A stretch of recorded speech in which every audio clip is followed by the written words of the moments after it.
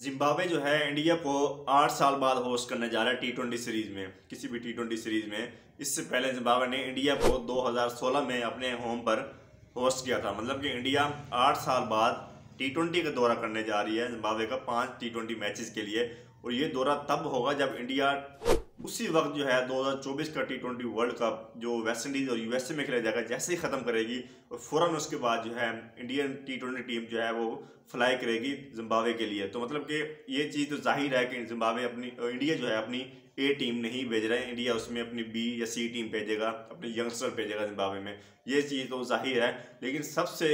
बड़ी बात जो है, इस वक्त एक खुश सबसे ज़्यादा जो इंसान खुश है ना इस वक्त, जो सबसे बड़ा एक प्लेयर खुश है इस वक्त, वो है शुभन गिल। क्योंकि शुभन गिल की ओडियाई में जिम्बाब्वे में एवरेज एक सौ दस बीस है। तो वो बंदा जो है इस वक्त सबसे खुश तरीन इंसान है इस वक्त इंडियन टीम का, क्योंकि वो जिम्बाब्वे में जाकर मेरे ख्याल में रन के पहाड़ लगाएगा और फिर अपने बड़े बड़े रिकॉर्ड बनाएगा। तो इस वक्त जो सबसे खुश तरीन बंदा है इंडियन टीम में से वो शुभन गिल है कि वो जिम्बाब्वे में जाकर एक रन के पहाड़ लगाने वाला है, क्योंकि उसका रिकॉर्ड जो है जिम्बावे में बहुत बड़ा है। तो बहुत इंपॉर्टेंट सीरीज़ है जिम्बावे के लिए, कि इंडिया आठ साल बाद जिम्बावे का दौरा करने जा रही है, और ये अपडेट जो है आईसीसी ने दिया है कि इंडिया पाँच टी ट्वेंटी मैचेस के लिए जिम्बावे का दौरा करने वाली है, जो उसका जुलाई में, और जिसका पहला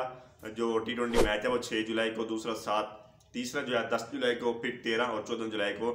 पाँच टी ट्वेंटी मैच जो है खेले जाएँगे, उसके बाद इंडिया वापस आ जाएगी। मतलब कि वर्ल्ड कप के फ़ौरन बाद 2024 का जो टी ट्वेंटी वर्ल्ड कप है, उसके फ़ौरन बाद जो है इंडिया ने फ्लाई करना है। अभी कौन जीता वर्ल्ड कप ये तो नहीं पता, लेकिन हर दफ़ा यही होता है कि जब भी कोई वर्ल्ड कप हो तो उसके फ़ौरन बाद जो है इंडिया की पाँच या छः मैचेस की कोई सीरीज़ रखी होती है, और इंडियन टीम जो है, उस वर्ल्ड कप उस आईसीसी की ट्रॉफी हारने का गुस्सा जो है, उस सीरीज़ में निकालती है। तो इसकी बड़ी बड़ी एग्ज़ाम्पल हमारे पास मौजूद हैं, चाहे वो एशिया कप में फ्लॉप हुए थे मेरे ख्याल में, उसमें जो है इंडियन टीम उस फ़ौरन बाद वेस्ट इंडीज़ फ्लाई करके गई थी, उसके बाद 2021 के टी ट्वेंटी वर्ल्ड कप जब विराट कोहली कप्तानी में हारी थी उसके फ़ौरन बाद जो है वेस्ट इंडीज़ गए थे खेलने। उसके बाद जो है अभी ओडीए वर्ल्ड कप जब इंडिया हारी है उसके फ़ौरन बाद पाँच टी ट्वेंटी मैच की सीरीज़ थी, ऑस्ट्रेलिया के साथ ही। तो ओडिया जो वर्ल्ड कप हारे फाइनल ऑस्ट्रेलिया से, उसका गुस्सा वो ऑस्ट्रेलिया पर एक टी ट्वेंटी सीरीज़ में निकाल देते हैं, एक लोकल सी सीरीज़ में। मतलब कि इस तरह जो है इंडिया गुस्सा निकाल दे क्या इस दफ़ा इंडिया चैंपियन बनकर जाएगी वहाँ पर जिम्बावे में? या फिर वही अपना गुस्सा निकालने जाएगी और अपने फैंस को जो है हौसला देने जाएगी क्योंकि हम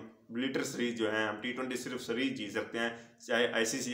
जो ट्रॉफीज हैं, वो नहीं जीत सकते। तो एक बहुत बड़ी इंपॉर्टेंट सीरीज़ है जो इंडिया जिम्बावे के लिए जाएगा, खेलने, लेकिन ये जिम्बावे के लिए ज़्यादा इंपॉर्टेंट सीरीज़ होगी लेकिन इंडिया जो है, मुझे लगता है इस टूर पर अपनी बी या सी टीम भेजेगा अपनी ए टीम नहीं भेजेगा। और ये टी ट्वेंटी सीरीज़ जो है वो टी ट्वेंटी वर्ल्ड कप 2024 के फ़ौरन बाद जो है, है क्योंकि जो टी ट्वेंटी वर्ल्ड कप है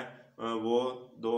जून में है और जुलाई के स्टार्ट में जो है एंड हो जाएगा। तो मतलब कि जैसे ये वर्ल्ड कप एंड होगा उसके फ़ौरन बाद इंडियन टीम जिम्बाब्वे के लिए फ्लाई कर जाएगी।